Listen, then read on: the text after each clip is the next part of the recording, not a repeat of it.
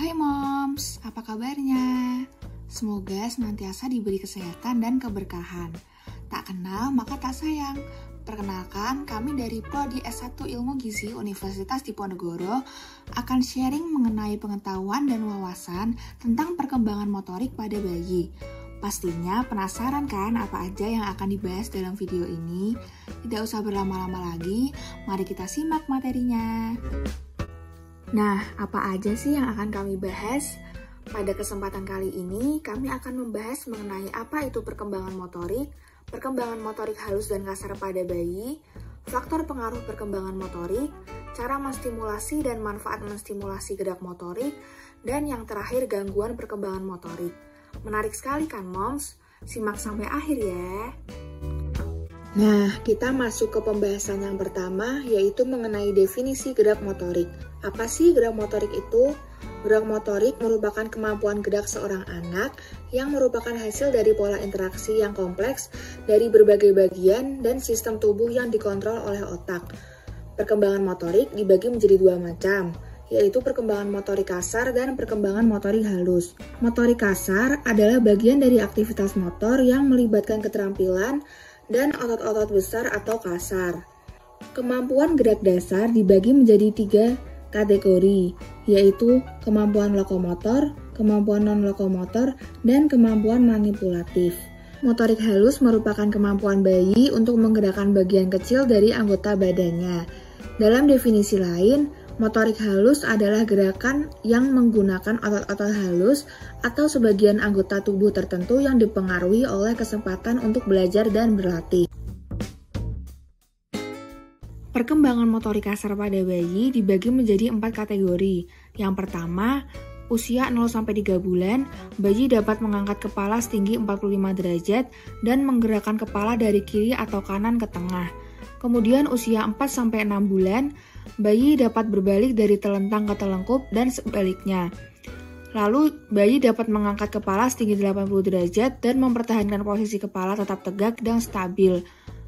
Lalu, usia 7-9 bulan, bayi dapat duduk sendiri dengan kedua tangan menyangga tubuh, belajar berdiri dengan kedua kaki menyangga sebagian berat badan, dan merangkak, meraih mainan, atau mendekati seseorang. Kemudian usia 10-12 bulan, bayi dapat mengangkat badan pada posisi berdiri, belajar berdiri 30 detik atau berpegangan kursi atau meja, dan berjalan dengan dituntun. Sama halnya dengan perkembangan motorik kasar, perkembangan motorik halus dibagi menjadi empat kategori. Yang pertama, pada usia 0-3 bulan, bayi dapat melihat dan menatap wajah. Lalu, bayi dapat merespon dengan tersenyum. Kemudian usia 4-6 bulan, bayi dapat menggenggam jari orang lain, meraih benda dalam jangkauan, memegang tangannya sendiri, menengok ke kanan, ke kiri, ke atas, dan ke bawah, dan memperluas pandangan mata. Kemudian usia 7-9 bulan, bayi dapat memindahkan benda dan memungut dua benda.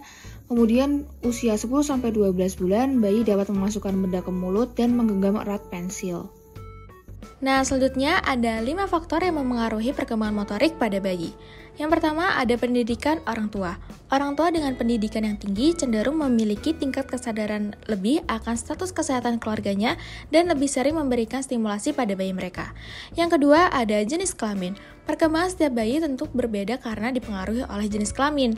Pertumbuhan dan perkembangan bayi laki-laki cenderung lebih cepat dibandingkan dengan bayi perempuan dikarenakan bayi laki-laki memiliki hormon testosteron yang lebih tinggi. Yang ketiga, ada riwayat infeksi penyakit. Perkembangan motorik pada bayi akan terganggu apabila bayi pernah atau sedang menderita suatu penyakit, terutama infeksi. Penyakit infeksi yang sering terjadi pada bayi biasanya adalah infeksi saluran pernafasan atas atau ISPA dan diare. Yang keempat ada ASI eksklusif. ASI memiliki banyak sekali kandungan gizi yang mampu mendukung perkembangan motorik pada bayi. Salah satu kandungan gizi pada ASI yaitu taurin diketahui secara tidak langsung berkaitan dengan respon motorik halus pada bayi. Selain itu, kandungan asam amino, kalsium, zinc, dan DHA pada ASI dapat mempengaruhi perkembangan motorik pada bayi. Yang kelima ada pemberian empasi. Perlu diingat untuk pemberian empasi pada bayi diberikan pada saat bayi berumur 6 bulan ya. Pemberian empasi juga perlu memperhatikan waktu pemberian, frekuensi, porsi, jenis makanan, dan cara pembuatannya. Pemberian empati yang sesuai pada bayi dapat mempengaruhi perkembangan otak, gerak motorik, dan kualitas hidup pada bayi. Selanjutnya ada cara menstimulasi gerakan motorik kasar agar perkembangan-perkembangan tersebut dapat dicapai. Yang pertama itu ada bulan 0 sampai 3, bayi bisa mulai berlatih untuk menahan kepala dan berguling.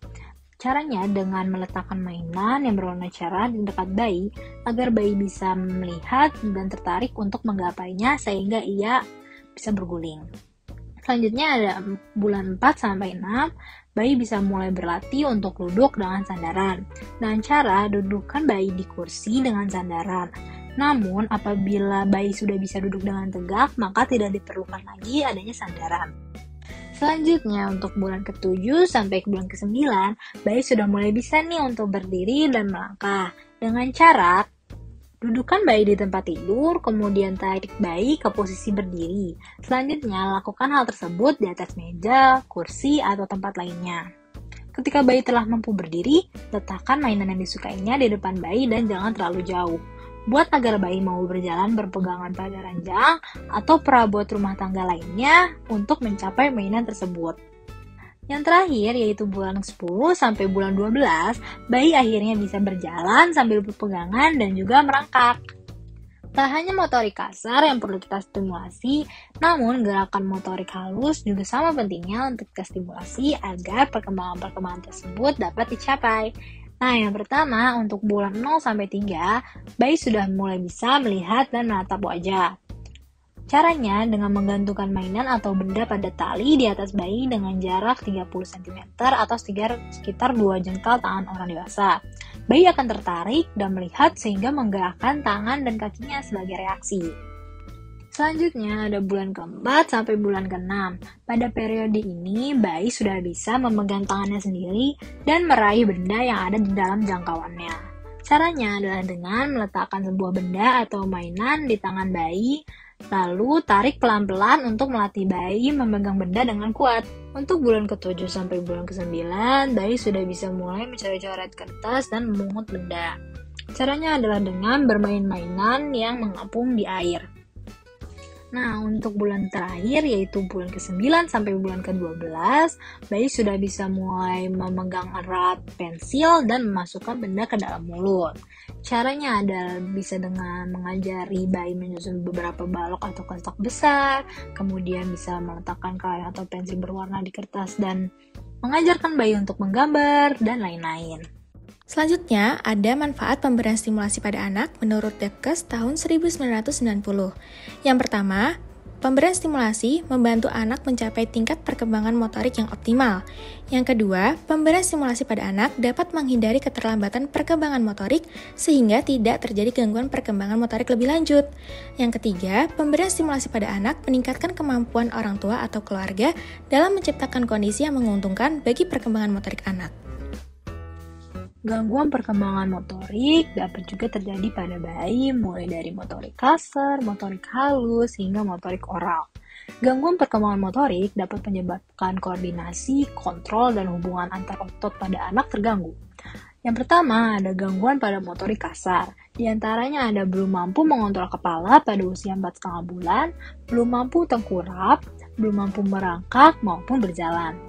Yang kedua, ada gangguan pada motorik halus. Di antaranya, belum mampu membuka jari pada tangan, belum mampu memegang mainan, belum mampu memegang benda, dan belum mampu meraih benda-benda kecil. Yang terakhir, ada gangguan motorik pada oral. Gangguan pada koordinasi gerakan, menggigit, mengunyah, dan menelan makanan. Gangguan ini biasanya terjadi pada anak usia 9 bulan. Kondisi ini dapat terlihat apabila anak sedang muntah. Dari tumpahan makanan ini terdapat bentukan nasi yang masih utuh. Selain itu, gangguan ini juga dapat mengakibatkan kejadian tergigit sendiri bagian bibir atau lidah pada anak secara tidak sengaja. Gangguan motorik kasar dan halus pada anak biasanya tidak berdiri sendiri. Gangguan ini akan terjadi secara kombinasi dari keduanya. Akhirnya selesai sudah penjelasan materi dari kami nih moms. Semoga materi yang sudah kami jelaskan dapat membantu moms terkait perkembangan motorik pada bayi moms ya. Sekian dari kami selaku kelompok 7, semoga kita dapat bertemu kembali di lain waktu. Stay safe dan stay healthy ya moms. Dadah!